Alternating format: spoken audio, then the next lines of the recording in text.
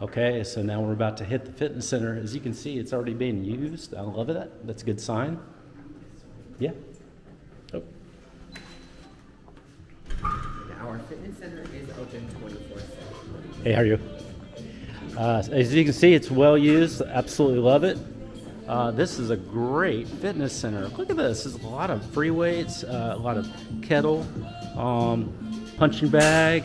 Uh, you've got some ellipticals over here. You've got treadmills over here. This is cool. Um, as you can see, it's being very, very nicely used, and you've got some good uh, free weight equipment, uh, machine equipment here too.